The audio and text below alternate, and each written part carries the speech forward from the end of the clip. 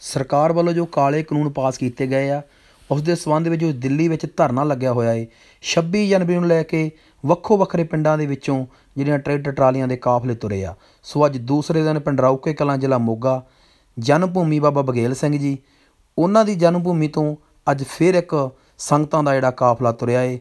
ਸੋ ਅਸੀਂ ਅਰਦਾਸ ਕਰਦੇ ਹਾਂ ਕਿ ਕਿਸਾਨ ਵੀਰ ਜਿੱਤ ਕੇ ਘਰਾਂ ਨੂੰ ਵਰਤ ਪਰਤਣ ਸੋ ਇਸੇ ਕਾਮਨਾ ਦੇ ਨਾਲ ਅੱਜ ਅਸੀਂ ਦੂਸਰਾ ਜੱਥਾ ਜਿਹੜਾ ਪਿੰਡ ਰੌਕੇ ਕਲਾਂ ਤੋਂ ਰਵਾਨਾ ਕਰਨ ਜਾ ਰਹੇ ਹਾਂ।